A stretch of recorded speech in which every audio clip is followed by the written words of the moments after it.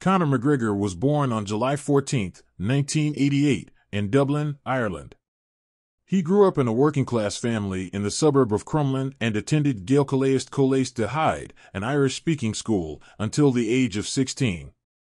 McGregor developed an interest in boxing at a young age and began training in the sport as a teenager. After leaving school, McGregor worked various jobs to support himself, including as a plumber and a nightclub bouncer. However, he continued to train in combat sports, eventually transitioning to mixed martial arts, MMA. In 2008, McGregor made his professional MMA debut and quickly began making a name for himself on the Irish circuit. He won his first two fights by knockout and continued to build his record over the next few years. Despite facing setbacks early in his career, including a submission loss in his third fight, McGregor remained determined to make it to the top of the sport. He continued to train tirelessly and hone his skills, eventually catching the attention of UFC President Dana White. In 2013, McGregor made his UFC debut, knocking out Marcus Brimage in the first round. From there, he quickly ascended the ranks of the featherweight division, earning a reputation for his striking ability, charisma, and unapologetic trash talk.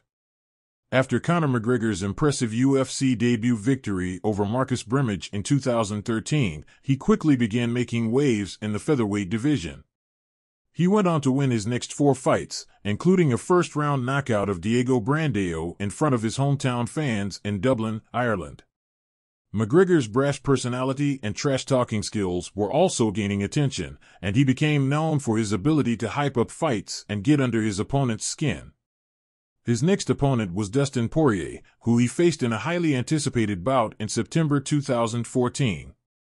McGregor won the fight via TKO in the first round, solidifying his status as a rising star in the UFC. He continued to call out top fighters in the featherweight division, including Jose Aldo, the reigning champion at the time. In July 2015, McGregor finally got his shot at the featherweight title, facing off against Aldo at UFC 189. McGregor predicted that he would knock out Aldo in the first round, and he did just that, landing a devastating left hook just 13 seconds into the fight. With the victory, McGregor became the undisputed featherweight champion and one of the biggest stars in the UFC. He went on to defend his title against Chad Mendes and then moved up to the lightweight division, where he won the title in a rematch with Nate Diaz. However, McGregor's success was not without its controversies. He was involved in several high profile incidents outside the octagon, including a 2018 bus attack that resulted in criminal charges.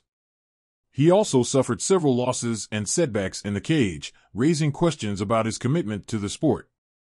One of the most highly anticipated fights in UFC history was the matchup between Conor McGregor and Khabib Nurmagomedov, which took place in October 2018.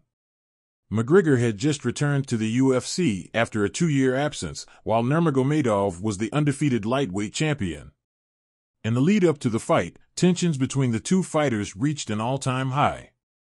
McGregor taunted Nurmagomedov's religion, family, and country, while Nurmagomedov took offense to the insults and promised to smash McGregor in the octagon. When the two finally met inside the octagon, it was Nurmagomedov who emerged victorious, submitting McGregor in the fourth round with a neck crank. After the fight, however, chaos erupted when Nurmagomedov jumped out of the cage and attacked McGregor's cornermen, while members of Nurmagomedov's team attacked McGregor inside the octagon. The incident led to a suspension and fines for both fighters, and McGregor took a hiatus from the sport for over a year.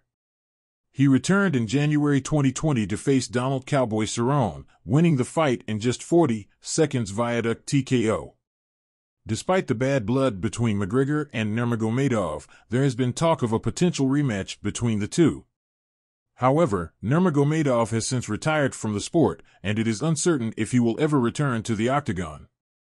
The Conor McGregor vs. Donald Cowboy Cerrone fight took place on January 18, 2020, at UFC 246 in Las Vegas. The fight was McGregor's return to the octagon after over a year away from the sport, and it was also his first fight since losing to Khabib Nurmagomedov in October 2018. Leading up to the fight, there was much speculation about how McGregor would perform after such a long layoff. Many wondered if he would be rusty or if his time away from the sport had diminished his skills. However, McGregor put those concerns to rest with a dominant performance against Cerrone. He came out aggressively, throwing a barrage of punches and kicks that quickly had Cerrone on the defensive. McGregor landed a number of devastating strikes, including a head kick and a series of shoulder strikes that appeared to stun Cerrone.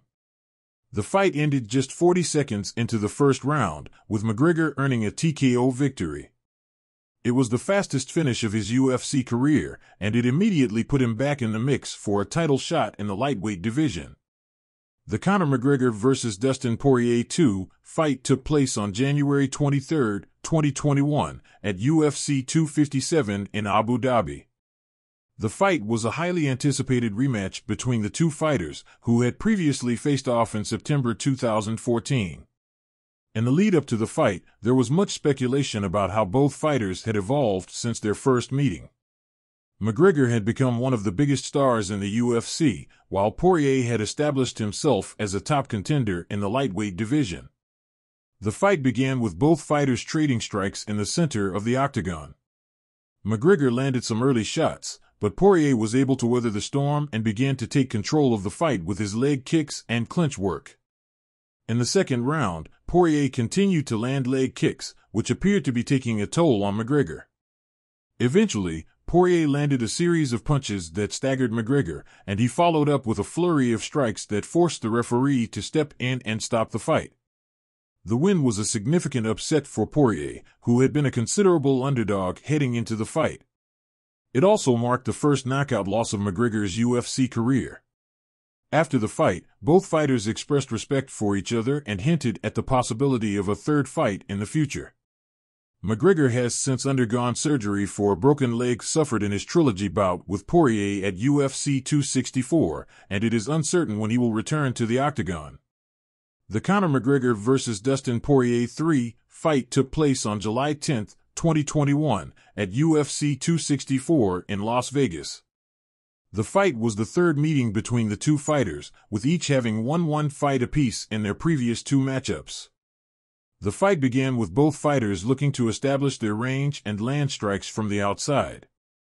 McGregor appeared to be getting the better of the exchanges early on, but Poirier landed a takedown and began to work on the ground, eventually taking McGregor's back. McGregor was able to escape and get back to his feet, but he appeared to suffer a leg injury at the end of the first round.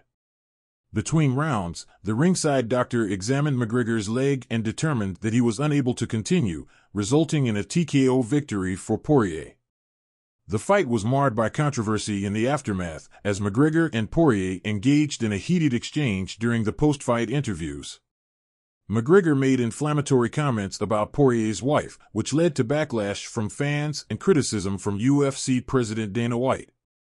Despite the unsavory ending to the fight, it was a significant victory for Poirier, who had established himself as one of the top contenders in the lightweight division.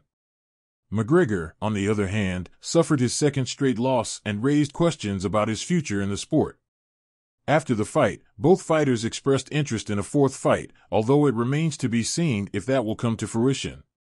McGregor has since undergone surgery for his leg injury and is expected to be out of action for several months. Since then, Conor coached the Ultimate Fighter vs. Michael Chandler. It still remains to be seen if Conor is going to step back in the cage.